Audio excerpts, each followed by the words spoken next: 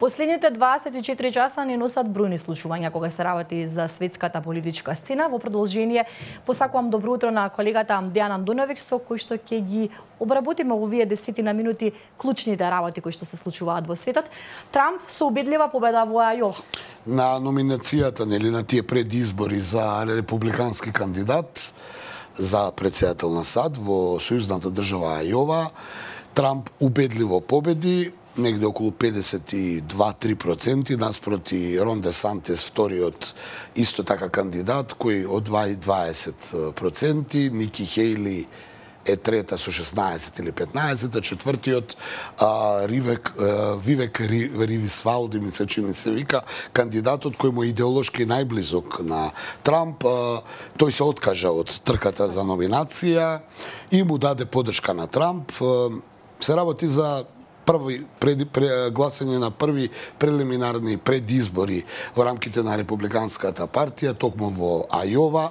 Западните агенции пред се американците велат дека тие избори во Ајова се нарекуваат кокус, што значи дека за разлика од другите сојузни држави каде што има прелиминарно гласање за номинација на Републиканската партија, самите кандидати први им доаѓаат, им се обраќаат на гласачите и потоа веднаш потоа тие почнуваат да гласаат кој по пошта, кој по на лице место, кој како веќе им оди електронското гласање, така да овие избори се доста специфични, затоа и се нарекуваат кокус, а од друга страна се голем успех на Трамп, се разбира Трамп е далеку од од целосен нели успех да добие таа номинација, но се чини дека оние анкети кои ги ги емитуваат и ги кажуваат западните агенции, ако и ние ги споменуваме секој втор ден, се покажа вистините што се однесува до номинацијата внатре во Републиканската партија. Трамп... А колку овие, прости што, што те прекинувам, колку ваквите прелиминарни избори се релевантни за Се релевантни, како не се.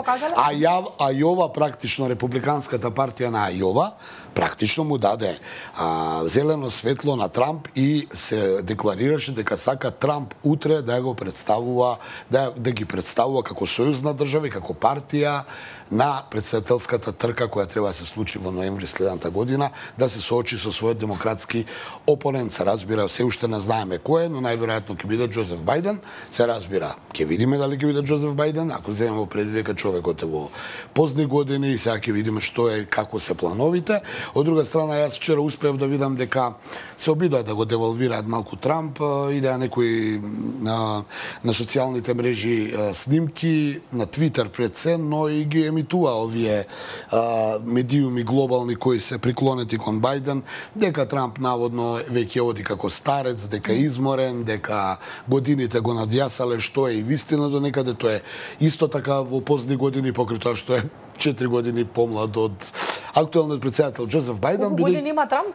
Па, ако Бајден има 78-9, ова има 74-5, така да стари луѓе се тоа, но бидејќи на Трамп му беше главната закачка со Бајден дека е стар и дека го викаше спориот Джо и сето тоа сега почнува контра контра нападот медиумски на тамошните ботови како што ги велат кај нас да го да му кажуваат на Трамп еј ти си стар одвај одиш изморен си така тоа ќе видиме што ќе биде, тоа ќе биде на интересно шоу. Шоу кое за жал од кое зависи нели светската политика бидејќи кој ќе биде идниот председател на САД тоа е тоа е еден од не, не сакам да кажам главен, но еден од главните а, кројачи и шнајдери на светската и глобалната политика. Каков е тој таен документ на кој што се повикува германскиот магазин Билд во кој што вели во најновата статија вели дека НАТО и Русија се подготвуваат за војна. Треба ли да се плашиме од нешто? Дали треба да се плашиме? Јас мислам дека ние требаше да се плашиме уште кога почна војната во Украина. Овие тајни документи се само еден дел, ми се чини, од а, воената практика. Сега ќе имаме ние во студио тука воени а, експерти кои имаат воено искуство, ние што се занимаваме со новинарство и што имаме некакво воено знаење, но не сме компетентни. А, не би но сакал... имате воено искуство кога се работи за служење на да. војска. Така да сакам да кажам дека воените експерти а, ќе го потврдат ова, јас само ќе кажам на кратко. А, воената пракса е дека кога има војна да се прават планови, сценарија за тоа што понатаму а, војската институција која треба да знае да ги предвиди чекорите на тоа што се случува. Конкретно Бундесверот има некој таен документ, Бундесвер инаку германската армија, во која поради актуалните случувања во Украина, бидејќи тие ги вклучуваат сценаријата. Има едно сценарио, второ, трето. Едно сценаријата беше Русија да биде поразена, но очигледно не и покрај тоа што нели многумина ќе кажат вака било, така било, ние ги кажуваме фактите и вестите кои доаѓаат од таму. Второто сценарио мора да се активира, тоа е дека Германија и НАТО се подготвуваат за евентуален воен конфликт со Русија, бидејќи доколку се остварат полни други сценарија на руската армија, која исто така ги има направено дека после Украина би ја нападнала Молдавија, па може би Украј, Литванија, Летонија и Естонија, па и Финска, кои се па земји членки на НАТО, тогаш би се активирал тој член 5. Значи, кога е нападната една земја членка на НАТО, сите земји членки на НАТО се во војна. Да. Значи, тоа, тоа на некој начин и Македонија, независно од тоа што сме мали и далеку и сето тоа. Сакам сме да кажам, а, тоа е тоа е сценарио каде што а, главниот командант на НАТО за Европа, тогаш би префрлил околу 300.000 војници на источниот фронт. Малку ми се смешно ова што го зборуваме, подсеќа на некоја далечна историја, источен фронт, но мораме така да го наречеме и во Првата светска војна и во Втората светска војна германско-рускиот линија на фронт се викаше Источен фронт, па тој командант на Евро, за Европа на НАТО би префрлил околу 300.000 војници таму, а Бундесверот вели дека околу, околу 60 на 70.000 би биле токму германски војници. Се разбира, тоа се сите превентивни сценарија кои ги прават сите сериозни воени формации во светот, па нормално и НАТО, па и Бундесверот сам со себе, но дојде уште една изјава, значи во контекст на ова, а тоа е естонската премиерка premijerka koja koja Естонија е инаку држава која се граничи нели со Русија и која е можеби едно од најзагрозените од сите овие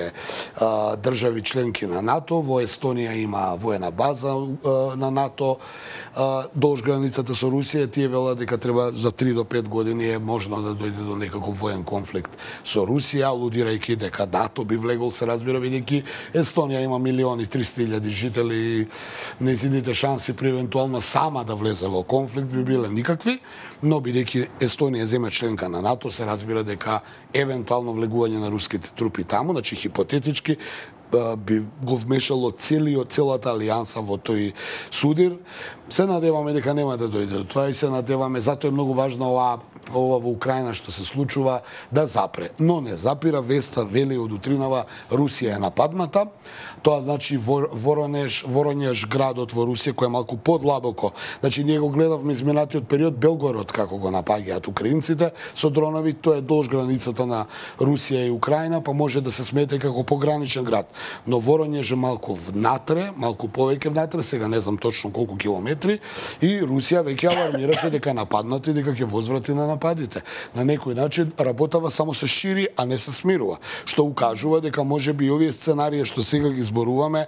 На Германија се подготвува за војна, Естонија предвидува и такви те сите тие изјави како да се во контекст на овој напад кој го направи Украина утринава и Русија го подигна алармот дека е нападнат и сега во текот на денот ќе чекаме да видиме каков ќе биде одговорот. Се надевам дека нема да биде некој поширок одговор, бидејќи војната не само што не апира, туку продолжува многу да се шири, а ако ги земеме геостратешки во предвид работите дека Газа, Западен брег, Израел, тамо не се смирува работите. Блискиот исток е многу вознемирен. Европа има проблем со енергенци ради тоа, па кога имате проблем со енергенци, со финансиски а, кризи, тогаш доаѓа до други конфликти и буквално може да дојде до целосна анархија во светот и да почне она светска војна у смисло секој секого да нападне. Да се надеваме дека тоа нема да биде, ќе видиме овие а, така наречени decision makers по англиски е речено во Давос што ќе направат и дали нешто воопшто ќе успеат да договорат, но тоа што е проблем во Давос е тоа што ја нема другата страна, значи ја нема другата страна, така да што и да се договорат, ќе се договорат меѓу себе, а не со оној со кој имаат во моментот конфликт. Да, има ли некакви податоци за овој утрински напад кој што се случил во Русија за последиците? Па има повредени, доста има и неколку деца, така барем вели гувернерот на таа област, се разбира, сето сите овие информации морам да мораме да бидеме воздржани бидејќи тоа се случи утринава и медиумите ги филтрираат или или можеби немаат ни информации што се случува. Знаете како кога е војна, кога има експлозија, кога има се, ние се навикнавме одма да имаме извештај толку мртви, толку жртви, толку толкова. Не.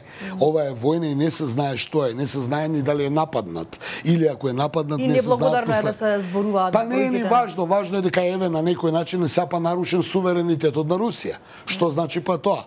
Ако се наруши суверенитетот на НАТО, земите членки влегуваат во војна. Е, ако се наруши суверенитетот на Русија, што тоа значи и второ у каква војна ќе влезе бидејќи Русија е де факто у војна. Во Украина се води војна. Русија неколку пати изминативе две години беше нападната, беше нападната и Москва со дронови, така да ќе видиме како се тоа, ќе видиме беше нападнат Кримскиот мост, Крим и сето тоа. Не знам веќе се губи смислата и на нашето известување од аспект на тоа кој каде е нападнат. No. Да. Дали е нарушен суверенитетот, што е суверенитет? Од друга страна Русија ги приспои овие четири три области во Украина во Руската Федерација, вклучително и Крим пета област. Значи, а, дали тоа значи дека кога војувате во Донбас те нападнале Русија. Значи тие некои меѓународни норми во меѓународното право ќе треба тек допрва да се да се а, прецизираат што е Русија, што е Украина, до каде се границите, кој каде има суверенитет. Да се надам дека имам уште малку време од Тоа е војна за територии во превод. Така, уште малку време се надам дека имаме од разговорот би сакала да начнеме и ситуацијата помеѓу Северна и Јужна Кореја. Што се случува таму? Па Југоисточна Азија цела како да е Некој се обидува да го отвори третиот фронт, значи ако имаме Европски фронт, Блискоисточен фронт, сега и тој во Југоисточна Азија, а и Африканскиот нешто се обидуваат да го отворат, судир на тие нели глобални сили. Покрај Тајван, кој е доста невралгичен и за кој зборувавме изминатиот период дека може до негде да, да, да дестабилизира состојбата, Јужна Кореја, Северна Кореја е, е перманентно а, а, дестабилизирачки фактор, знаеме кој владе таму, како е тоа направено, се колку се одвоени Јужна Кореја и Северна Кореја од 1953 година.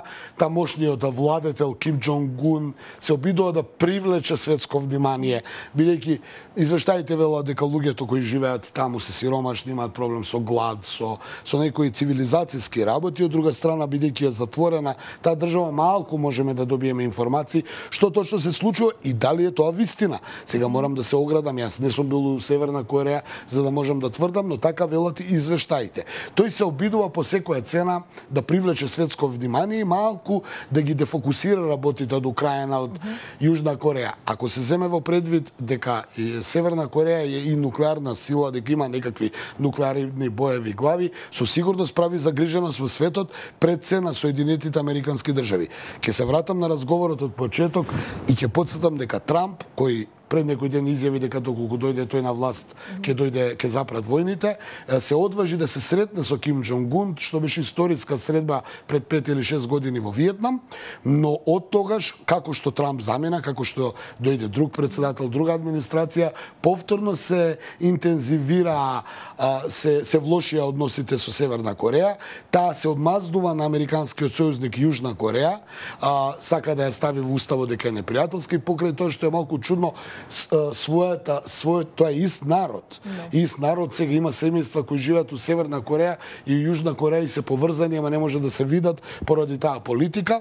Од друга страна, Ким Джонг Ун му пречи што на границата на 53-та паралела, ми се чини што е направена таа вештачка граница меѓу двете Кореи, има околу 70.000 американски војници кои ги наблюд, ја наблюдуваат Северна Кореја што се случува и веројатно тој притисок на комунистичкиот режим во Пјонгјанг му пречи и оттаму и ги прави овие да кажеме дестабилизирање во смисол лансира ракети, поминуваат над Јапонија, над Јужна Кореја, а сега и оваа изјава дополнително ги зголемува ги зголемува тензиите и покрај тоа што мислам дека тоа сега за сега таму ќе биде мирно.